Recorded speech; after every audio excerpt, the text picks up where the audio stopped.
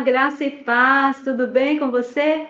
Estamos aqui felizes, dando glória a Deus por mais uma oportunidade de falarmos que Jesus é bom e que Ele tem cuidado de nós. Dá um glória a Deus aí.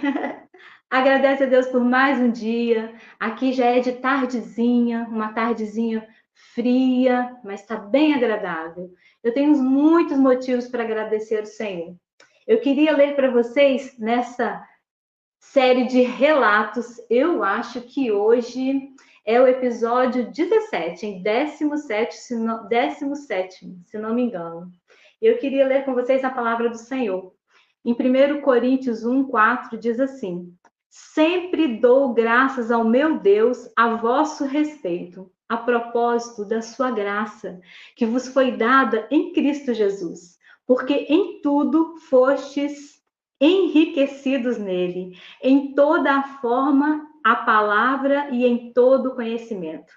Assim como o testemunho de Cristo tem sido confirmado em vós, de maneira que não vos falte nenhum dom, aguardando vós a revelação de nosso Senhor Jesus Cristo. Este texto me lembra muito a minha convidada de hoje, uma amiga querida lá do Paraná, das terras frias, ela está lá cheia de frio hoje. Uma amiga que antes mesmo de eu ter aqui o meu canal, de eu dar o primeiro testemunho lá no CACP, nós já nos comunicávamos e eu estava aguardando e orando por essa oportunidade. E hoje vocês vão conhecer a minha querida amiga Ana. Oi, Ana, graça e paz, tudo bem com você? Graça e paz, tudo bem, irmã Lília? Que honra estar aqui contigo e também com, com vários irmãos que vão nos ver, nos ouvir, né? Para compartilhar Amém. da nossa vida e do nosso relacionamento com Deus. Amém, estou muito feliz. A minha amiga é muito bonita, muito elegante, meus irmãos. Olha que bênção. Lá no Paraná, quero deixar um abraço para sua família inteira, seus filhos, o Evandro, viu? Que o Senhor sempre abençoe sua casa, seu lar, em nome de Jesus, Ana. Amém, amém. Eu estava dizendo para a Ana que as pessoas veem os nossos vídeos e veem o meu rosto, né, com muita frequência. E a Ana tem muitos anos que a gente não se fala. Eu acho que nem chamada de vídeo, eu acho que já tem mais de um ano que eu fiz uma chamada de vídeo com a Ana. Então eu estava com saudade do rostinho dela. Que bênção você poder estar aqui nessa tarde, minha irmã. Muito obrigada, tá bom? Eu que agradeço. obrigada. Amada, vamos lá. Aqui nessa série de relatos, nós chamamos ex-adventistas para contar as suas experiências, as suas histórias de vida. E você e o Evandro têm uma história linda de vida.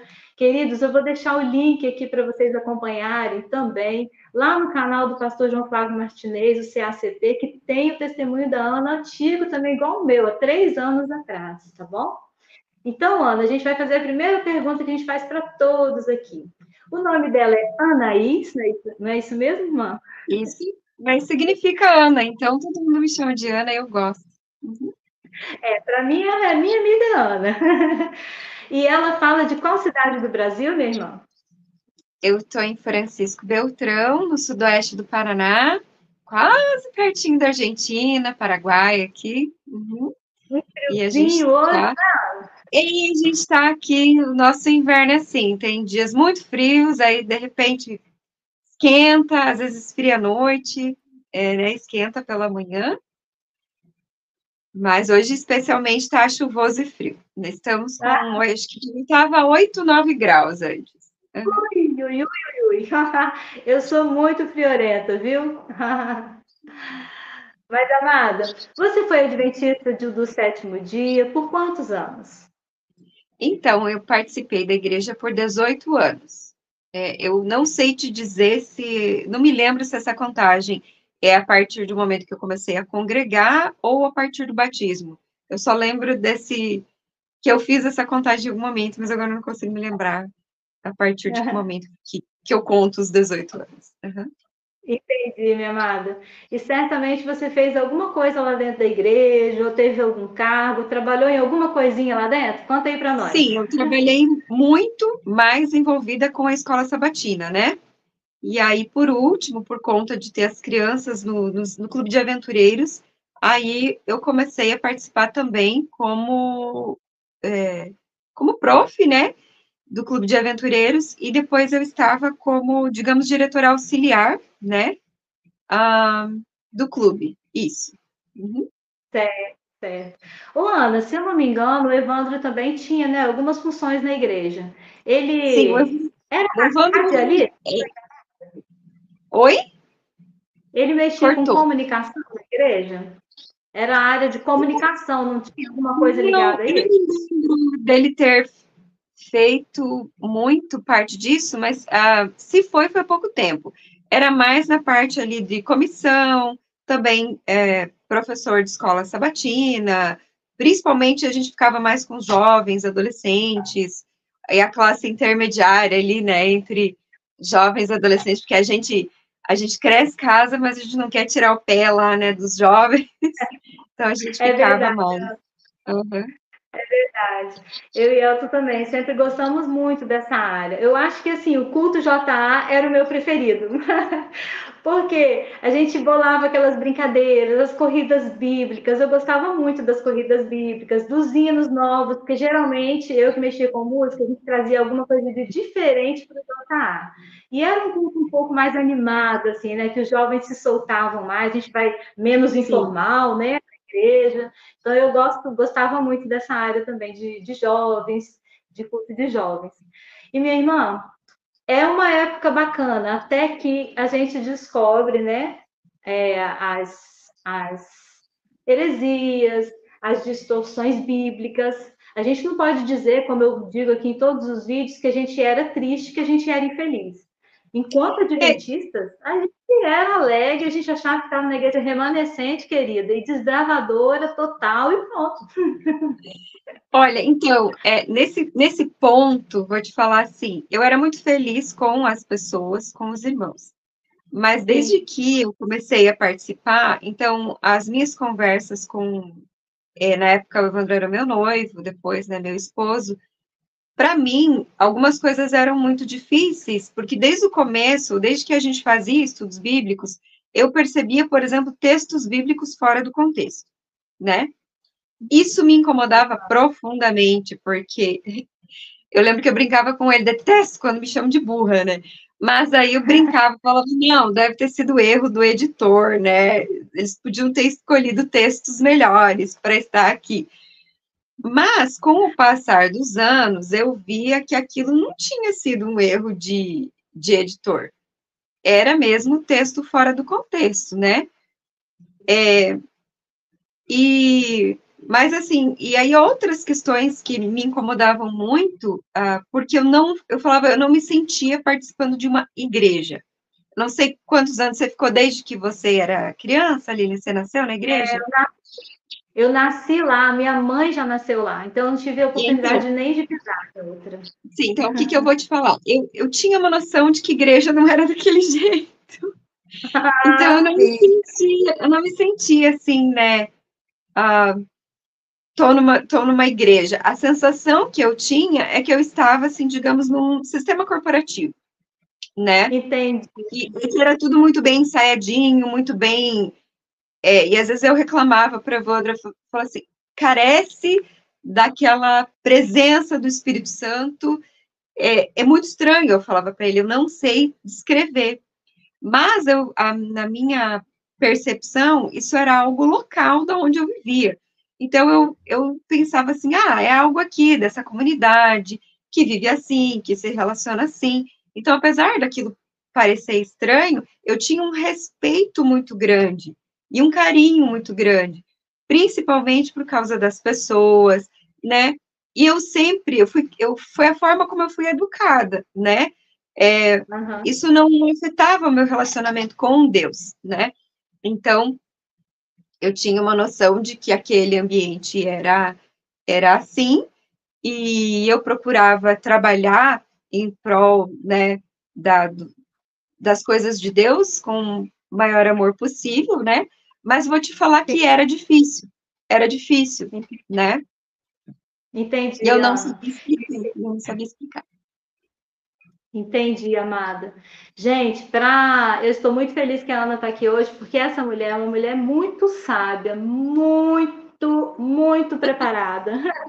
E a Ana trabalha muito. Ela é professora, ela trabalha, eu acho que é em horário integral, tá? Porque o tempo inteiro que eu for ligar para a Ana, ela tá ou dirigindo, ou indo de uma escola para outra, ou trabalhando. Ou mulher. É verdade. Eu, eu, eu sou, digamos, eu tenho a formação de docente, mas eu não estou hoje em sala de aula. Já tem anos que eu estou na área administrativa, né?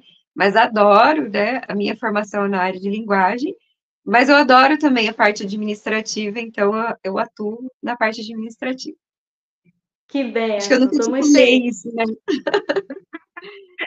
Não, engraçado que agora você está de férias de um dos trabalhos, por isso que eu consegui um horáriozinho na sua agenda. Então vamos aproveitar esse dia. Minha amada, como que foi assim a sua libertação? Conta pra gente como que foi assim o despertar. Você já se sentia incomodado por textos fora de contexto? Isso já te incomodava? Por causa da sabedoria que o Senhor te deu e você já tinha alguma coisa estranha ali. Conta pra gente como que foi o seu despertar, pode contar pra gente, fique à vontade. Então, aí, Lilian, na questão de doutrina, assim, para mim as coisas eram tranquilas, assim, eu eu achava que estava tava tudo certo, né, e, e, essa sensação ruim, eu orava muito a Deus, eu falava, Senhor, né, se esse é o lugar que o Senhor, né, é, reservou, uh, se essa é a sua igreja, então o Senhor me ensina a amar isso, a compreender, ou me, me livra de, desse ah. peso, disso tudo, né? Mostra. E aí é uma das coisas que eu falo, assim, que que não ia chegar uma pessoa para mim, sabe, Lilian, ia falar, né? E uhum. Sim, e por último, que eu te disse, a gente estava no. Você está escutando meu gatinho miar aqui? Eu vou ter que, eu vou ter que abrir a porta. Vou ter que abrir a porta. Pode ele vai ficar ele aí, seu gatinho. Pode mostrar, fique à vontade. Essa aqui é uma gatinha. É, é aí, a Tubinha. Linda, muito bela. Ela quer sair? Pode soltar ela.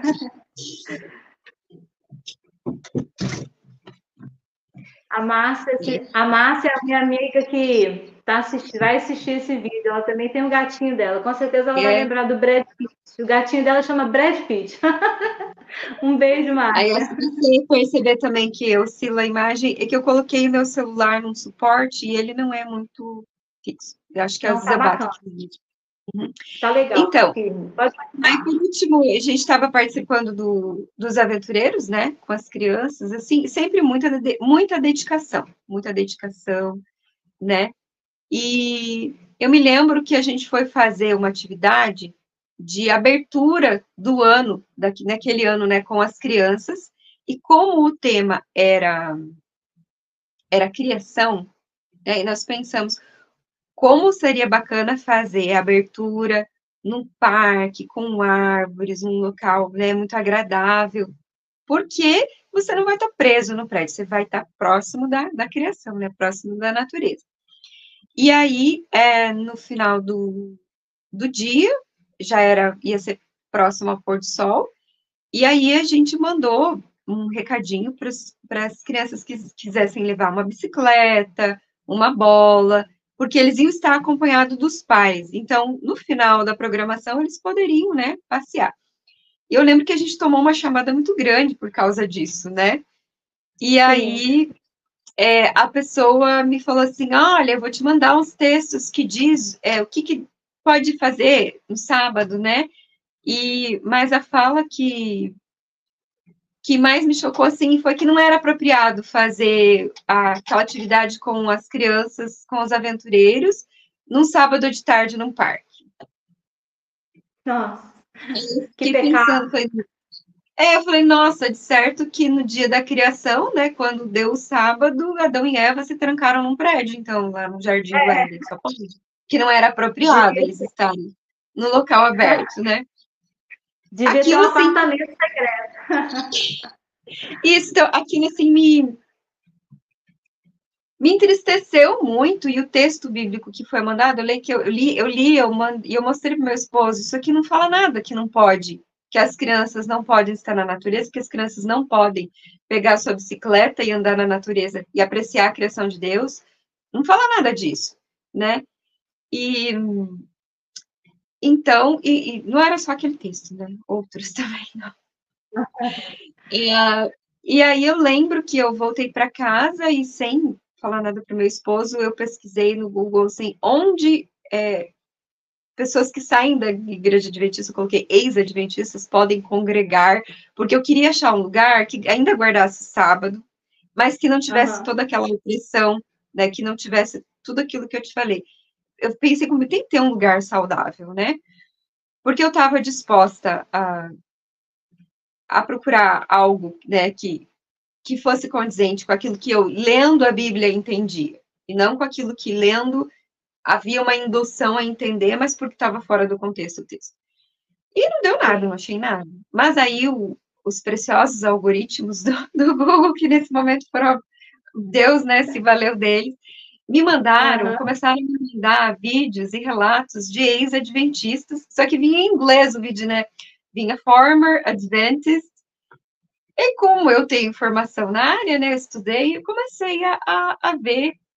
E aí, aquilo que eu te falei, né, Lilian, que aparentemente era algo da igreja local, eu comecei a assistir testemunhos de pessoas, né, que não brigaram com ninguém, que foram ler o estudo, que estavam no doutorado, né, lá nos Estados Unidos, que foram, que era adventista de quarta geração, que tinha sido pastor, estudado em escola adventista, universidade, que estava fazendo doutorado dentro do sistema adventista, e que quando tinha uma dúvida para esses textos, ninguém preferiram, preferiam excluir a pessoa do que, olha, meu amigo, vou te explicar, no contexto bíblico é isso. Não. Aí, quando foi excluído, percebia, não, eles me excluíram porque eles não tinham resposta. Simples assim. Não. Exatamente. Né? não tem a resposta. E aí, quando eu vi os testemunhos das pessoas, eu lembro que eu traduzia para o meu esposo os vídeos, né?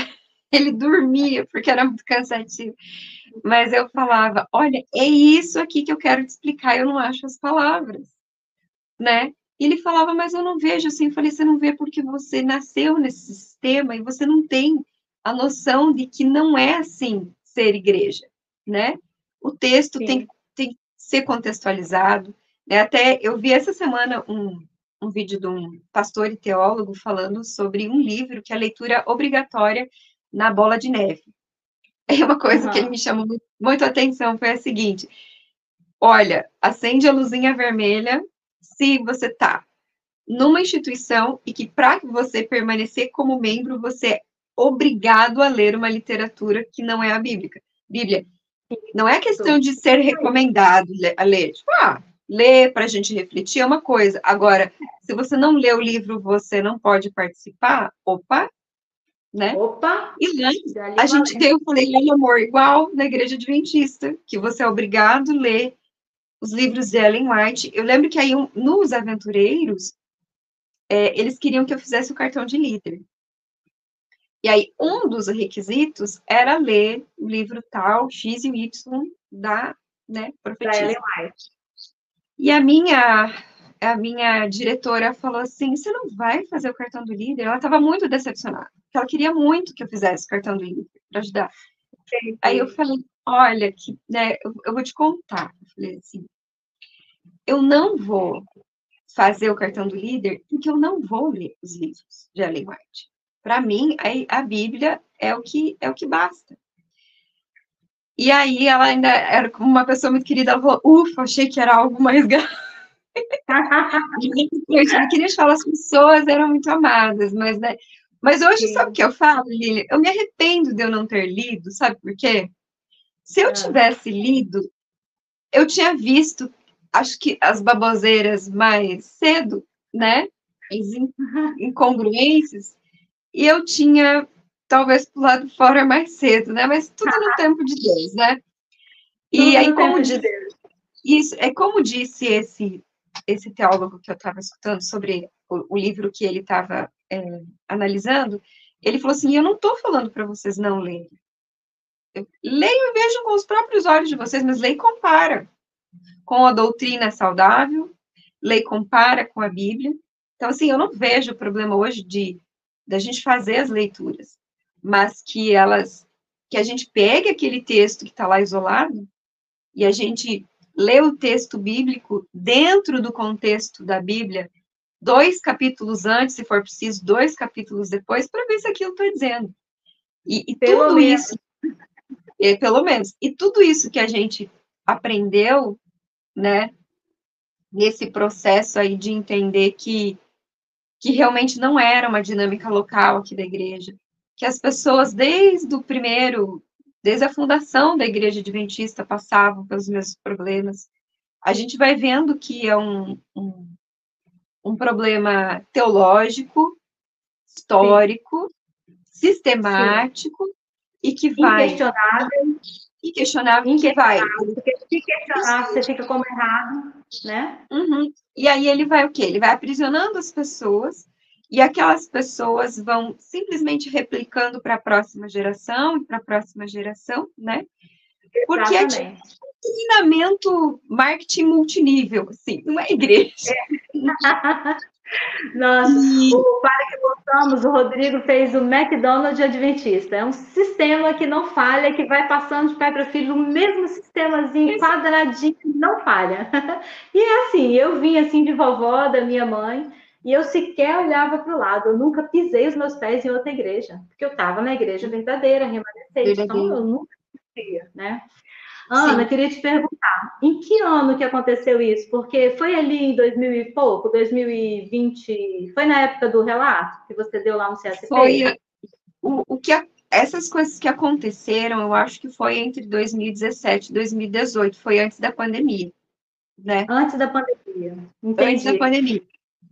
Tanto é que eu passei mais ou menos uns dois anos estudando. Só estudando. Lendo, estudando, porque aí eu, por meio desses vídeos aí que eu tive contato com essas pessoas que eram ex-adventistas, primeiro eu fui fazer uma análise crítica. Falei, opa, peraí, quem é esse povo? É alguém que brigou com o pastor e quis montar a igreja é. da bolinha, sei lá o quê? Não, vamos, vamos analisar. E aí eu fui ver que, que não, que eram pessoas sérias, que estavam é, sendo sinceras nas suas dúvidas e que foram excluídas Sim. Pelo seu amor e a sua sinceridade, né? E, Exatamente. E aí eu fui ter contato com um material de pessoa, de tem aquele Ken Wright que viveu na casa, inclusive dos White, né? E uhum. que depois ele escreveu o relato dele. Então eu tive acesso, é, comprei o livro estava em inglês. e aí ah, traduzi. Traduzi. E aí ele dormia. Até que, durante a pandemia, nós encontramos o site do. e o canal, né, do CACP, que é o Centro uhum. Apologético. Agora eu não me lembro o nome. Centro Apologético? Centro Apologético Pesquisas. Cris... É, mais ou menos isso. Pastor João Flávio Martinez, nosso querido. Ana, eu queria te, te, lembrar um detalhe, porque hum. em 2021 nós, nós nos encontramos por causa do, do pastor João Flávio Martinez, nosso querido, do canal CACP, que faz um trabalho incrível apologético. Aliás, ele herdou do pastor Rinaldi, que já estudava seitas e heresias do Adventismo há muitos anos. Ele tem um acervo incrível Inclusive, eu sempre faço aqui propaganda, porque quem precisar de PDF, de estudo, de qualquer assunto, o pastor João Flávio, ele é muito acessível, ele fornece mesmo para todo mundo, quem tiver dúvidas, pode me chamar no zap aqui, eu passo também. E eu me lembro de você, Ana, chegando assim, o pastor João Flávio Martinez acabou nos unindo, nós criamos um grupo do WhatsApp.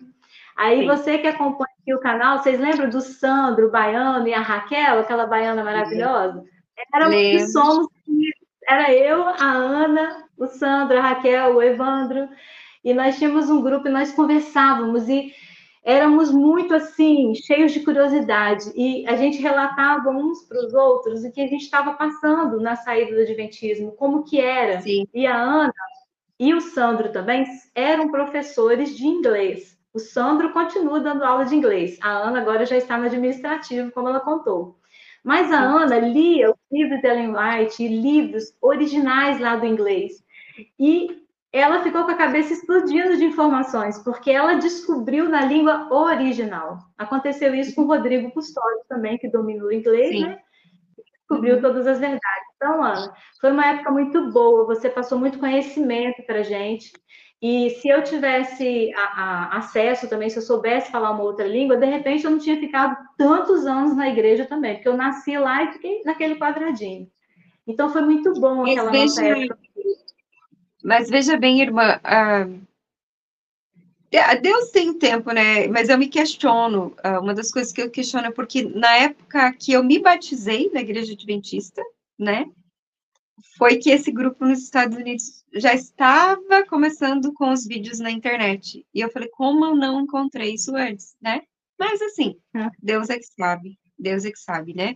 Então, ah, graças a Ele, ah, é, ele atendeu as minhas orações, né? De conduzir.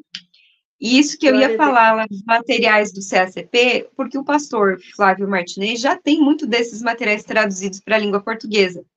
Então, aqueles PDFs que eu só tinha em inglês, o, o pastor João Flávio mandou em português. Aí meu esposo começou a ler, porque assim, eu falei para ele, como ele, eu via que ele não tinha paciência para ficar ali ouvindo tradução, eu comentei com ele assim, falei, olha, amor, é o seguinte, eu perante Deus, com a minha consciência, eu não vou mais dedicar o meu tempo, né, então, os meus recursos de tempo e dinheiro para propagar uma mensagem que eu percebi que não condiz com o evangelho puro e simples, né? Tem todo um calhamaço de coisas por trás que, que se colocam como condição antes, né, do evangelho. Uhum.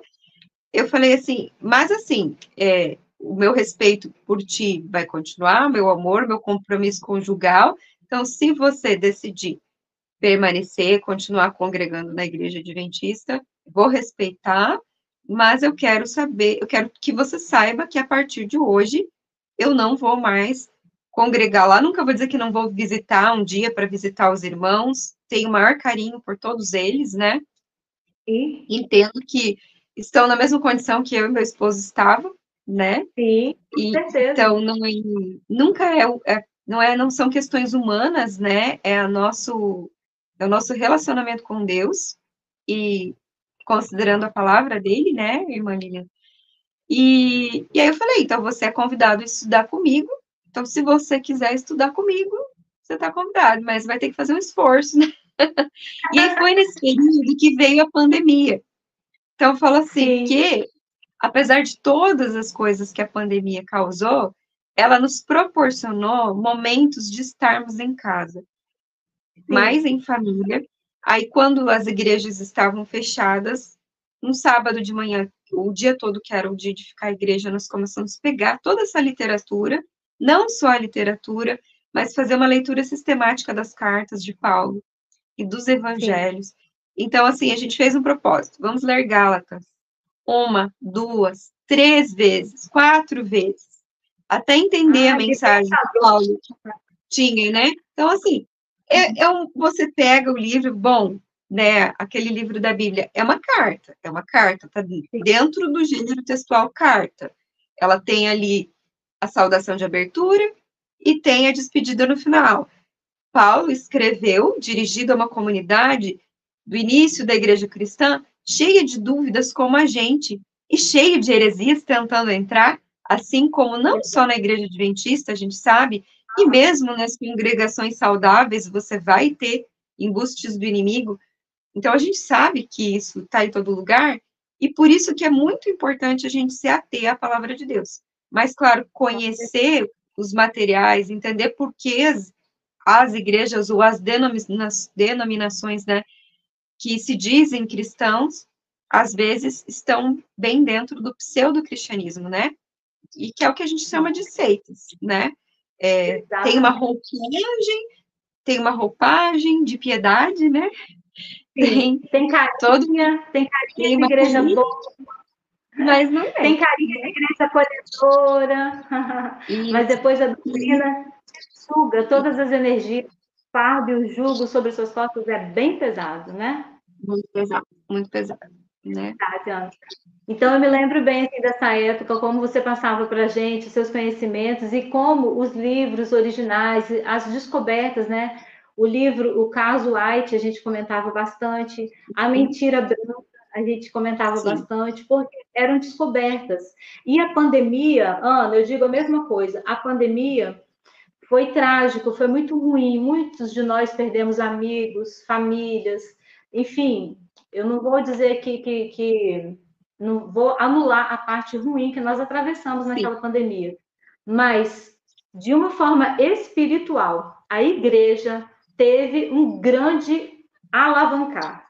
Porque quem uhum. era crente ficou em casa, mas ficou estudando. Ficou estudando a palavra de Deus, ficou se aprofundando em orar mais, em procurar mais a presença do Espírito Santo, porque não tinha como ir para a igreja. Então, se você era crente e já orava, você foi orar mais. Aconteceu uhum. isso comigo. Eu orar mais, eu quis mais a presença do Senhor. Deus falou comigo a respeito do canal, tipo, conta o seu testemunho. Eu fiquei assim tímida, mas foi na pandemia que o Senhor me despertou. O pastor João Flávio apareceu, viu meu testemunho, gostou, publicou. E hoje estamos aqui, três anos depois, centenas de almas foram libertas por causa de um simples testemunho. Eu recebo gente aqui no WhatsApp, Ana, o dia inteiro contando histórias, que está saindo de lá, precisa de ajuda, o marido não quer sair. É uma série de coisas, nós estamos aqui orando todos os dias, incessantemente. A pandemia foi muito benéfico para cristãos que se aprofundaram em Deus. Valeu a uhum. pena para todos nós Valeu. que quisemos buscar no Senhor a sabedoria e o estudo da palavra. Porque cá estamos. Estamos bem, nossa família está bem. A Ana frequenta já uma igreja. Se você quiser citar, pode citar para a gente. A Ana está bem, já trabalha na igreja, está com os filhos lá frequentando, achou um bom lugar. E nós estamos dando glória a Deus, porque na pandemia, apesar da tragédia que foi da doença em si, muitos de nós crescemos. O Para Que Possamos, o Gleison Pércio, tantos dos outros canais também surgiram depois da pandemia. Então, a Deus toda Sim. a glória. Deus é maravilhoso. Amém. Amém.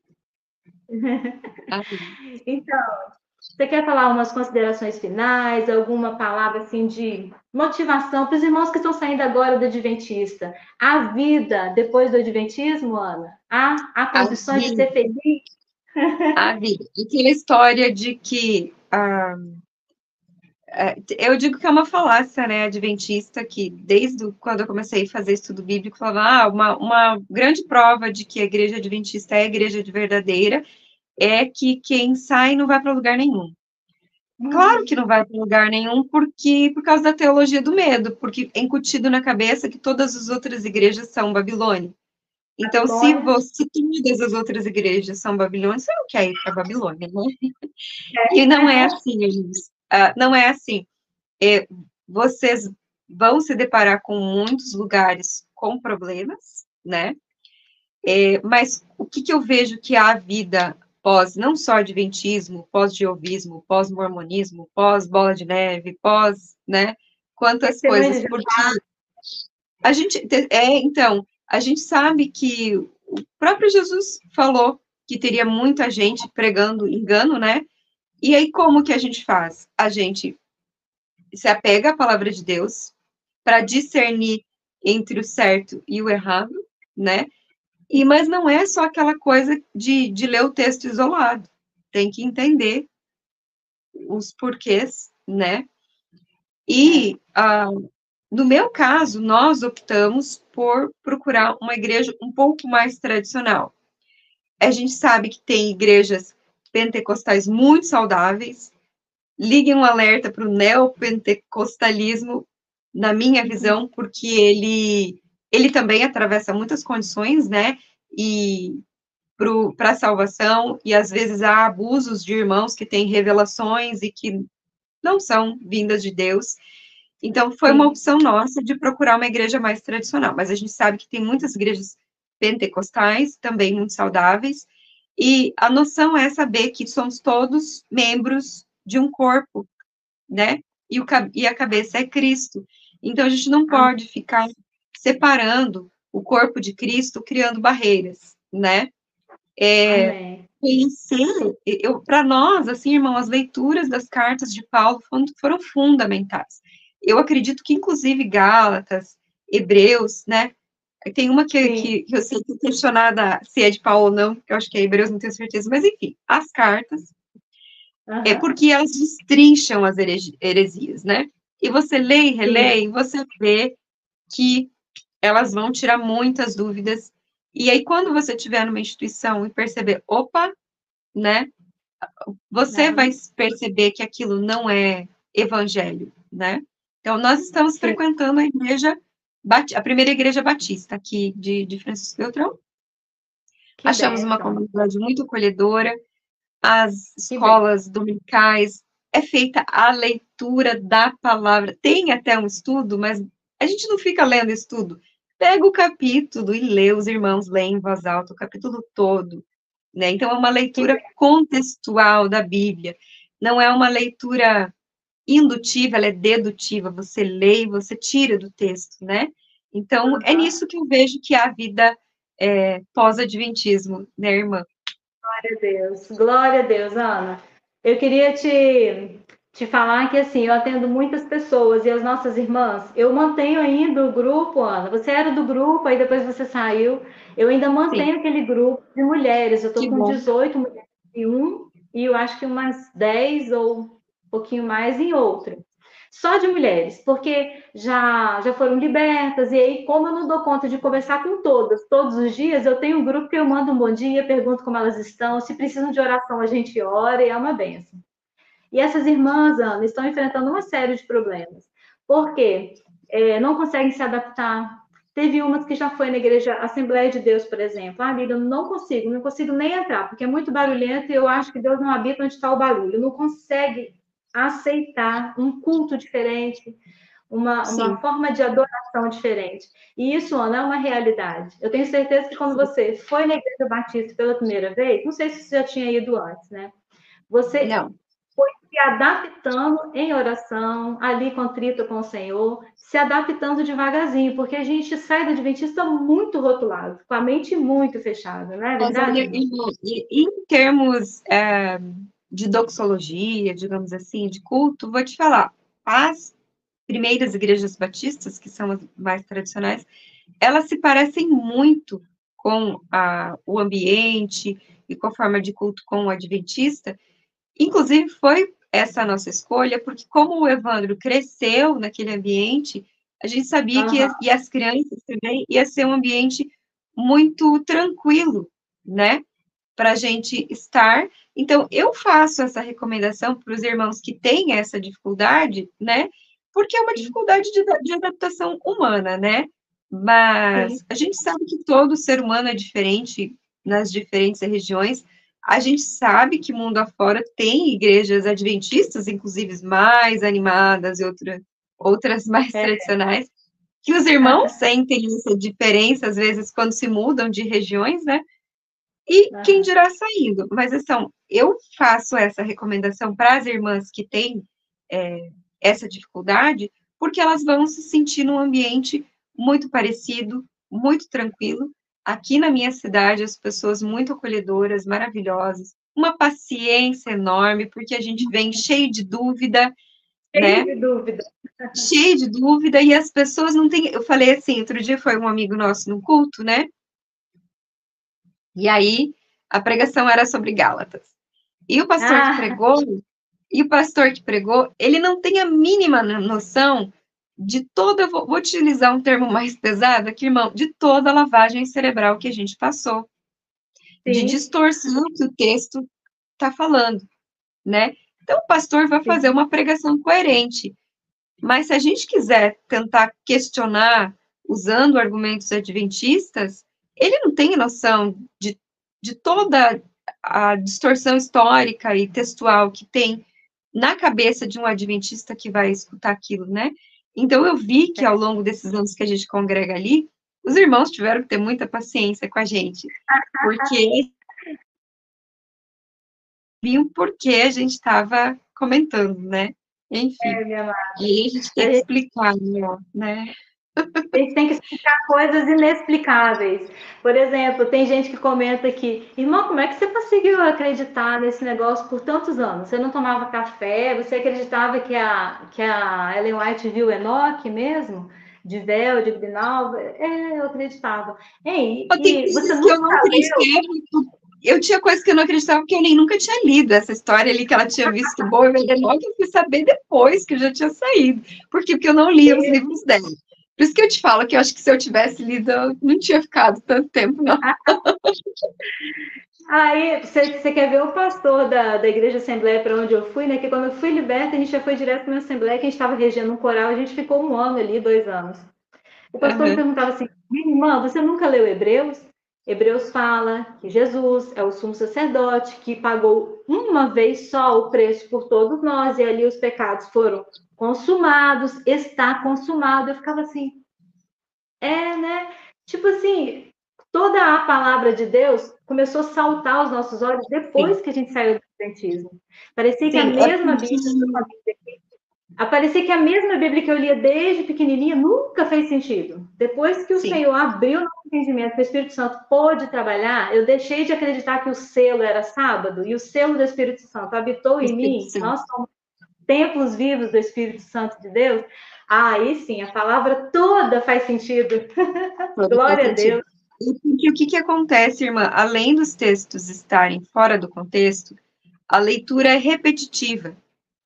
É, é. sempre os mesmos textos. Sempre, e a é. mensagem é sempre a mesma. Ainda eu falava assim, às vezes eu chegava em casa chateada, eu falava que era essas coisas que eu achava que era aqui só, né? Eu falava, mas que, que chato. Eu falei, é Páscoa, em vez de fazer uma leitura contextual da paixão, né, da morte, da ressurreição, a pregação é sobre o sábado, de novo. Na Páscoa, no Dia das Mães, encontro de casais, do Natal. A mensagem era sempre a mesma. Os textos lidos eram sempre os mesmos. Então, esses textos aí, irmã, eu li quando era mais jovenzinha, criança, né?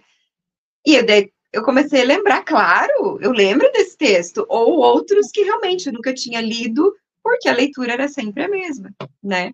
Sempre, sempre. Eu, eu costumo repetir aqui, Ana, é incrível, eu tenho que repetir em todo vídeo, em todo relato. João 8,32 era para mim, e era para crente que estava dentro da igreja a vida inteira. E conhecereis a verdade, a verdade vos libertará. Era para mim, que estava lendo a Bíblia, correndo, fazendo ano bíblico, desbravador, todo ano, todo ano, comendo a Bíblia, e nem prestava atenção. Eu não examinava, eu só lia. Só lia. a tabelinha lá, do desbravador. E achava e que, na verdade, eram os livros de Ellen White. Exatamente. Hoje, eu quero até mandar um beijo aqui para uma irmã, estava falando com ela agora à tarde, deixa eu lembrar o nome dela aqui. Renata, Renata Santos, um beijo para você. Estava conversando com a irmã Renata e ela comentando comigo que anciãos chegaram para ela, ou uma irmã lá da igreja chegou para ela e falou bem assim: Irmã, muito perigoso você ler só a Bíblia, tá? Isso é um perigo. Nós não conseguimos entender a Bíblia, a palavra de Deus, por si só. A gente tem que ler os livros da senhora White para a gente poder entender a luz maior, porque ela é a luz menor, tá bom? Achou perigoso que a irmã estava lendo só a palavra de Deus. Então, Sim. você vê, eu já cheguei a falar isso, Ana, porque eu nasci e cresci lá dentro, então eu fui nesse nível você aprendeu de ignorância. a discurso, né? A gente aprende a repetir o discurso. Sim. Exatamente. Então, o que é muito triste. Nós fomos libertos porque nós conhecemos a palavra, e a palavra é Jesus, ele é o Verbo vivo, e só Jesus salva. Nós repetimos sempre isso aqui. Nós amamos adventistas. Eu tenho família toda adventista, meus amigos de infância todos Sim. são adventistas. Nós estamos aqui questionando o adventismo. Sim. Nada pessoal contra pessoas maravilhosas que estão lá, Sim. são amigos nossos até hoje, né, Ana? Tem uma, uma pergunta que um, um dos testemunhos da época que eu assisti, ele falou que foi uma das coisas que fez ele pensar, porque alguém numa pregação, isso dentro da igreja adventista, né, falou: nós somos cristãos, que por acaso somos adventistas, ou somos adventistas que por acaso somos cristãos, né? Então, seja a denominação que a gente participa, a gente tem que entender que ela faz parte do corpo de Cristo, que ela faz parte do cristianismo e o corpo de Cristo não é dividido, né? É, o corpo de Cristo ele é muito bem interligado, né? E soldado ali com, com o poder do Espírito Santo. Então, a gente sabe que os irmãos congregam, assim como na época, né, uns participavam da igreja da Galácia, de Roma, né, qual era a verdadeira? Todas, todas estavam muito bem ligadas e conectadas, né, a, a Cristo que é o cabeça. E ninguém ficava puxando brasa só para o seu, não, só, só o, o, o, rito daqui que é o certo, né? É. Não, só é o daqui.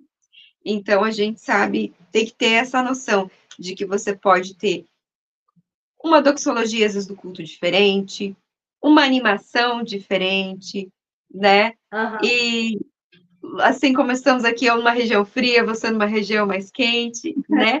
Mas que o cerne, que é a simplicidade do evangelho, tem que ser preservado. É, algumas coisas não se pode abrir mão, que a gente sabe que, que são heresias, mas outras Sim. coisas, a gente conversa aqui, eu e a Evandro em casa, mas por que Deus foi, não foi claro nisso? Às vezes, inclusive, não foi claro, ou porque não era relevante, ou para ele perceber qual é o nível de tolerância de amor e de respeito e de paciência dos irmãos com os outros, né? E, e faz todo sentido, né, irmã? Faz todo sentido. Exatamente. E assim, ó, nessa palavra examinar as escrituras é muito profundo. A palavra de Deus, Jesus é muito simples e muito profundo ao mesmo tempo, porque examinar as escrituras é muito diferente de ler. Né? Então, às vezes Sim. ele falou em parábolas, às vezes Jesus exemplificou, às vezes ele contou histórias. Por que, que ele não falou direto? Ó, faz assim, faz assim, faz assado, vocês vão ser salvos e vai ser tudo fácil. Não se você não ter a sua, o seu interesse também de examinar, de se aprofundar e de querer conhecer o Espírito Santo de Deus, ele também não vai se revelar a você.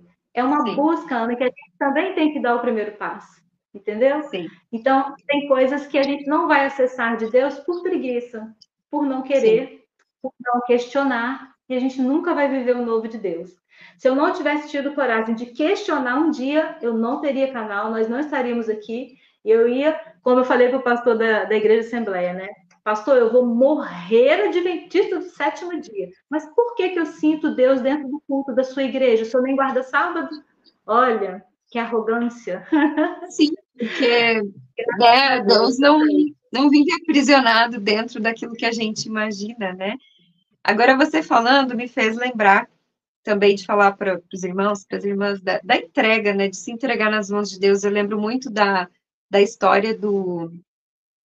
É, eu acho que foi do jovem rico, né, que veio e falou para Jesus que, que ele precisava. É, é, depois, nessas leituras contextualizadas, é que começou a fazer sentido. Porque ele chegou uhum. e perguntou, Senhor, o que eu preciso fazer para me salvar, né? Para ser salvo? É, o que eu uhum. preciso fazer? Aí a questão é, tipo, bom, se você quer fazer pelos teus próprios méritos, você tem que guardar toda a lei. Aí ele falou, arrogante também, ah, isso eu já faço. Será que faz? Não faz. A gente está sempre falhando em um. Mas a nossa arrogância, a gente acha que a gente é capaz de se salvar. E aí eu falo para as crianças aqui em casa, eu falei, a, a questão é a seguinte, mesmo que a gente desse a nossa vida para tentar aplacar os nossos próprios pecados, a dívida é tão grande que a nossa vida não paga. Jamais. Não paga. Jamais. Né? E a gente está o tempo todo, claro, a gente, o, ser de santos, né? A gente, a gente entende que tem que viver em santidade, mas aí Sim. a compreensão que o jovem rico não teve é que ele podia se arrebentar tentando mas ele não ia conseguir pagar a dívida dele, que é impagável. Se ele não, se a gente não entrega o nosso caminho, o nosso futuro, as nossas coisas a Deus e, e confia plenamente está que está consumado, que ele consumou. Então essa é a mensagem que eu quero deixar para as irmãs, que o, o evangelho puro e simples é esse, né? E aí outro dia também na pregação, o pastor estava usando lá os termos jurídicos, né, de falar da justificação e da e da santificação, né? E aí eu utilizei um exemplo para explicar para minha pequena, né? Que é como quando o, a, a justificação, que é o que Cristo fez por nós, né? Que nos nos decreta como justos, né? E nós, pela fé, recebemos essa justiça. É como, é como quando o juiz dá uma sentença, né? Por exemplo, e fala: olha, a guarda é sua, de uma criança. Aquele momento da sentença que está sendo decretado é como a justificação, né? Mas, se aquele pai que, que recebeu a guarda, ele pode, ah, beleza, recebi a guarda, agora eu vou para casa, mas não vou me apropriar disso. Vou deixar a criança lá, né? E então a, a santificação é a gente receber essa sentença da nossa justificação pela fé, e aí, pela fé, vi, se apropriar disso e viver todos os dias, né? sabendo que a gente vai continuar sendo humano, suscetível a errar, mas sabendo que já está tudo seguro nas mãos do Pai, né? Glória a Deus. As nossas falhas que não vão ser, né, buscando os caminhos incorretos, mas estando, né, na, nos caminhos de Deus para a santificação, na vida, na comunhão com os irmãos, é se apropriar disso que foi conquistado pelos méritos de Cristo, e não Glória. nós tentando pagar uma dívida que não, não tem condições. Né? Glória a Deus, é isso. É simples assim. Só um poderia pagar. E ele veio, o Filho unigênito de Deus, Jesus Cristo, veio, cumpriu e tudo pagou por nós. A ele toda a honra, todo louvor e toda a glória. Esse é o nosso Salvador Jesus. Ana, minha amiga, que alegria falar com você. Eu te agradeço muito por você ter tirado esse tempo de estar aqui conosco. Vamos nos falar mais, me liga, aproveita que você está de férias aí, vamos bater um papinho. Quem sabe faz uma chamada de vídeo com Raquel. e que o Senhor te abençoe, tá, minha irmã? Eu sei que você faz estudos bíblicos aí também, tem sempre, né, conversado com irmãos, estudado a Bíblia, que o Senhor continue te usando aí na sua casa, onde quer que for, por onde você passar. Que você seja bênção no canal de Deus aqui nessa terra, tá bom? Amém. Obrigada, irmã. Também agradeço muito pelo convite, pela oportunidade. Desejo que Deus continue abençoando a sua casa, a ti, tuas filhas, teu esposo esse ministério também que Deus te entregou, te chamou e que você acolheu com todo o coração, né? E que continue, que frutifique, que seja uma bênção para os irmãos, para as irmãs, para esse grupo de irmãs que você tem. Também que Deus abençoe a todos que, que assistem os seus vídeos e que eles não parem nos seus vídeos, que eles busquem na palavra de Deus, que eles saibam que há lugares saudáveis e bons e com a doutrina saudável que se pode congregar, que não é um único lugar, que perto da Sim. casa dele às vezes tem uma igreja muito sadia para ele conviver, né? E que ele sempre questione esses lugares também e olhe a luz das escrituras se está sendo um lugar ah. saudável, né? Isso aí. Exatamente. Glória a Deus. Minha amada, fica na paz do Senhor, que o Senhor te abençoe. Muito obrigada. Tchau, tchau. Ana. Beijo. Tudo de bom.